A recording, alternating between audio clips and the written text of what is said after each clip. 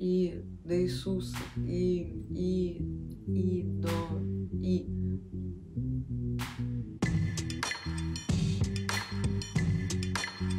И снова у нас сегодня праздник, называется Крещение Господне и Богоявление. Да, как же правильно? Крещение Господне или Богоявление? Это два разных праздника или это один праздник? Да, я сегодня в беленьком, потому что праздник-то у нас божественный. Чтобы разобраться, как правильно крещение Господне или Богоявление, нам нужно просто посмотреть, что же происходило на этот праздник. События эти описываются тремя евангелистами. Всего было четыре. Короче, Иисус еще был в безвестности, да, ему было 30 лет, он просто пока еще искал себя. А вот некий Иоанн Предтеча, да, вот здесь у меня будет ссылочка. Есть отдельное видео про Иоанна Предтечу, Иоанна Крестителя. Вот он уже вовсю проповедовал, но в такой манере, то, что будет вот так, но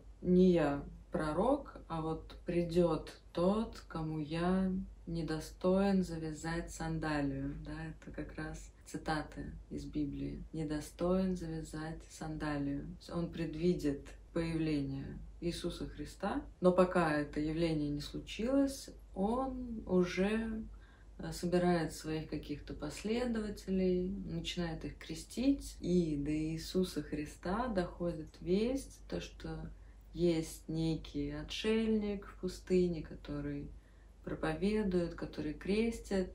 И Иисус сам к нему приходит, чтобы тот его покрестил. Тот его крестит в священных водах реки Иордан. И отсюда как раз у Иоанна Предтечи появляется вот этот второй никнейм Креститель. Иоанн Креститель. И вот в тот момент, когда происходит это священное крещение Иисуса Христа в священных водах Иордан, из развершихся небес он слышит глаз Господа, «Сей есть Сын мой возлюбленный, в котором мое благоволение» и видит сходящего на Христа Святого Духа в виде голубя. Поэтому мы празднуем крещение Господне и Богоявление.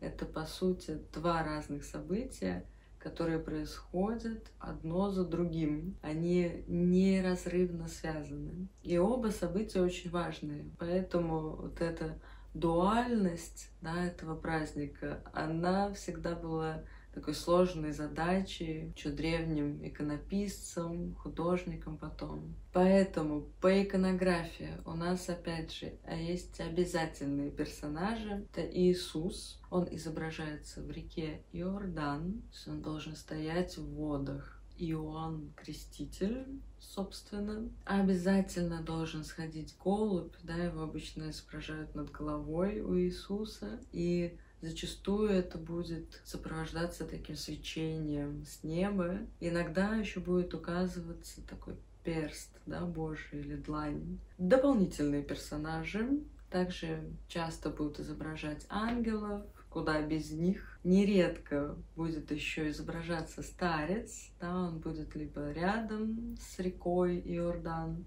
либо тоже в реке самой. Этот старец, он само олицетворение вот этой древней реки Иордан. Загадочный такой старец, но это аллегория, да, в иконографии очень любят такие аллегории. И еще иногда будут изображаться люди, да, которые ждут своей очереди, чтобы Иоанн Креститель их тоже покрестил. Но это совсем не обязательные персонажи, и они даже редкие. Вот такая простая иконография и очень узнаваема. Люблю такое. Поэтому я вас поздравляю с этими праздниками. На этом празднике у нас, кстати, заканчиваются святки. Здесь у меня раз предыдущее было видео про святки.